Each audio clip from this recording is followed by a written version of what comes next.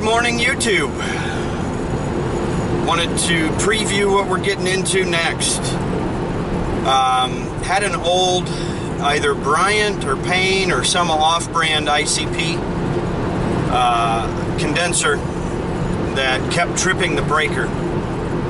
Customer had two other contractors come out and basically give him the same story that I gave him, saying that the compressor was dead and that uh, it, he would be better off simply upgrading rather than buying a compressor out of warranty. Um, our price for that compressor out of warranty was over $2,300. And by the time you spend $2,300 on a compressor just to keep an old, less efficient system, you'd be better off scratching that check as a down payment towards financing or something. But anyway, we discussed options, visited all the different potential uh, situations, and he has a three or two or three year old uh, hydronic air handler, hot water heating with air conditioning coil, and so he was not terribly interested in scratching that unit off and going all new. And so, with a little bit of reservation, we came to the conclusion that our best bet would be to apply a dry charge condenser and get him up to par with um, what you know what he's got inside. Um, so that's where we're headed now. We are installing an air temp uh, dry charged two ton condenser. Probably not going to be terribly exciting, but I'll try to catch some video for you and um, see if we can make sure that that thing's actually running well when we're done. Um, we've got a indoor TXV, I believe. I didn't crack the air handler open previously, but the customer did show us the 410A TXV that was removed from the air handler uh, when it was installed. So we have, I hope, a safe assumption, and I will confirm, but we have a safe assumption that the metering device is uh, compatible with the condenser. Um, so stay tuned and we'll take you along for the ride. Okay, so we've got the condenser pumping down or being recovered. And I was in here trying to confirm the TXV, which we do have. Does appear to be an R22 TXV. A little green tag on it. But look at this.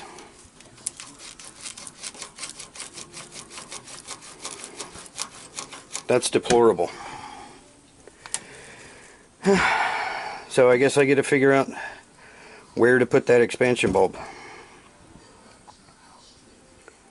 Obviously I've got great access because back there I've got screws and the door frame is here. I'm not 100% sure how I'm supposed to get to those, but we'll do what we can. But what I was going to do while we were um, getting the refrigerant out of the system was check my airflow so that once we were up and running we would have everything ready to go. So we're going to take that off the TXV bulb and uh, relocate it to a better location. Alright, so we got the expansion bulb relocated outside the cabinet where we can get a good returning refrigerant um, reading and just going to insulate that get the door back on I was looking at or I was hoping that I might be able to relocate this drain over to the left side because the air handler is leaning and with this piping in the way it's not possible to get the air handler to stand up unless we cut the water heater out and spin it and get those pipes to go somewhere else.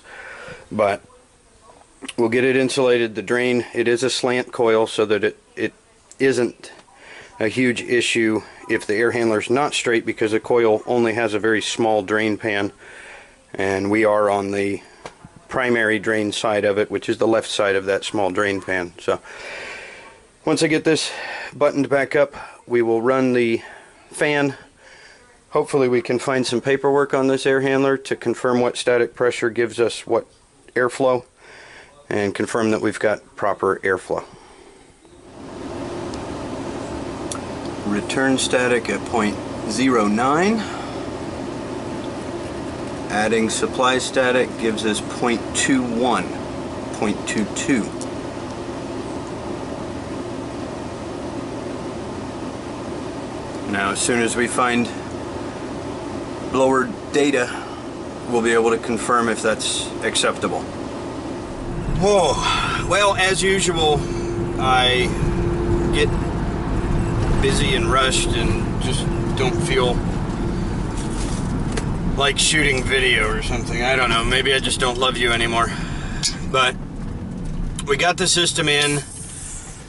I'm a little bit concerned that the existing TXV is not properly functioning. If it has been under poor condition, not installed properly for this long, only three years, but still, if it's been bad this long, then it's possible that it just is bad. But let me wait for the train. I ended up with a 13 degree subcool and a 30 degree superheat. And just don't think that's right. Um, I may actually see if we can go back with a piston.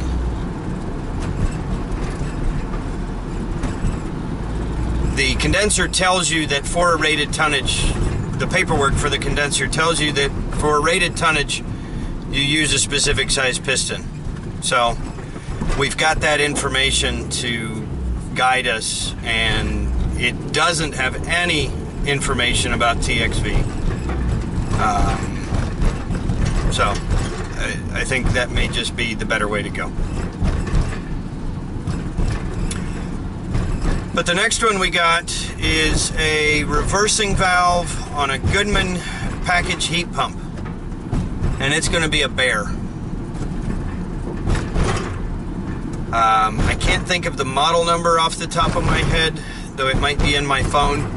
Should be in my phone but the condenser coil wraps all the way around the outside end of the unit and the reversing valve is barely accessible through the side panel where the refrigerant pressure test ports are. Um, so I'll see what I can get for video on that one and uh, bring you guys along for that ride as well. We'll see you in a bit.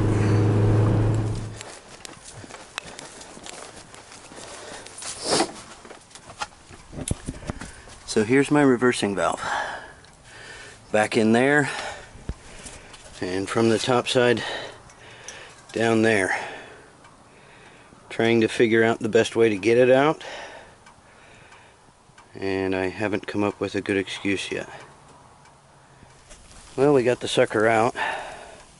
Wasn't actually as bad as I thought it might have been. Um, got the pipes in place and uh, shouldn't be too bad to get it back in. Worst part is going to be if I get one pipe hot and it won't uh, won't budge to allow another pipe to come in or something like that. But so far, not quite as aggravating as I thought it might be, which is good.